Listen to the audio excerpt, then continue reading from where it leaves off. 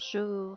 Je t'ai raconté l'histoire de Saül, le premier roi d'Israël qui n'a pas obéi à Dieu. Alors Dieu a choisi un homme selon son cœur, le jeune berger David. David est maintenant un jeune homme. À nouveau, il y a la guerre entre Israël et les Philistins. Les trois plus grands frères de David partent de la maison pour entrer dans l'armée de Saül. Et David retourne chez lui pour s'occuper des brebis et des moutons de son papa. Un jour, le papa envoie David vers ses frères pour leur apporter de bonnes choses à manger, pour les encourager. Alors David arrive près d'eux et leur demande comment ils vont.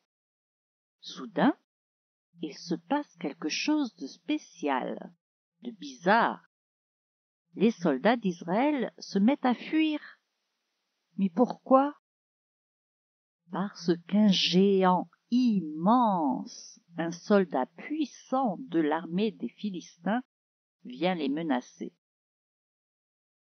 Ce géant fait plus de trois mètres de haut et vient chaque jour entre les deux armées pour insulter Israël et son Dieu l'Éternel. Il est tellement grand et fort tout le monde a peur de lui. Il leur dit chaque jour Je suis Goliath, le Philistin. Pourquoi sortez-vous pour vous ranger en bataille? Ne suis-je pas le Philistin? Et n'êtes-vous pas les esclaves de Saül? Choisissez un homme qui descende contre moi. S'il peut me battre et qu'il me tue, nous vous serons assujettis. Mais si je l'emporte sur lui et que je le tue, vous nous serez assujettis et vous nous servirez. Le Philistin dit encore, Je jette en ce jour un défi à l'armée d'Israël. Donnez-moi un homme, et nous nous battrons ensemble.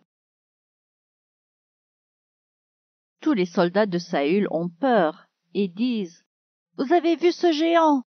Si quelqu'un le bat, Saül le récompensera et le rendra riche. Alors David redemande aux soldats près de lui ce qu'on fera au vainqueur. Il ne peut pas supporter qu'on insulte son Dieu ni son peuple.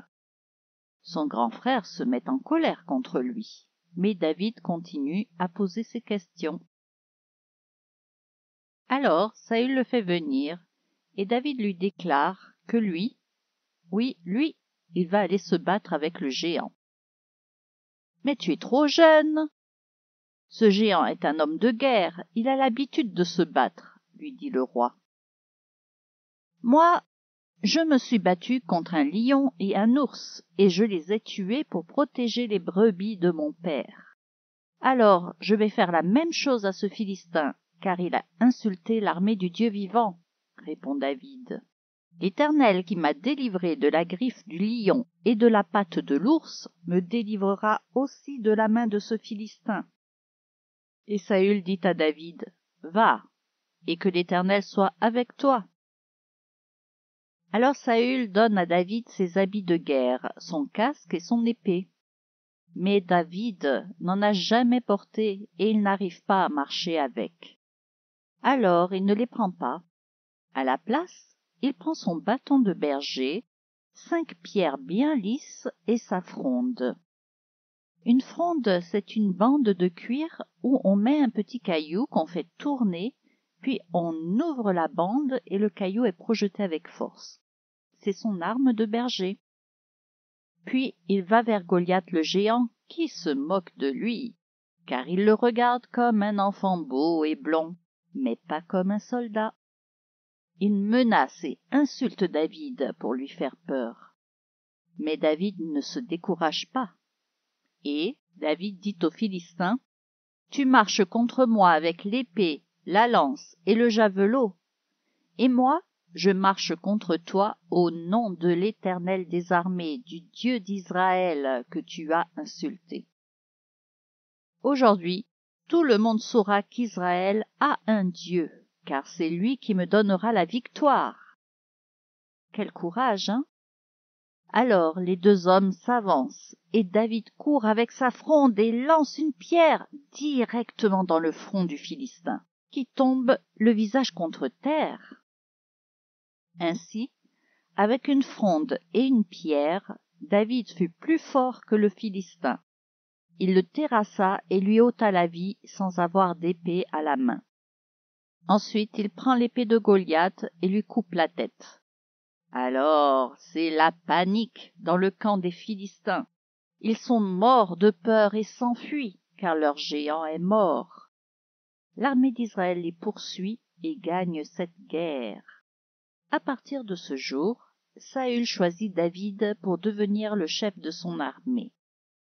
David reste donc avec Saül et gagne toutes les guerres pour Dieu et Israël.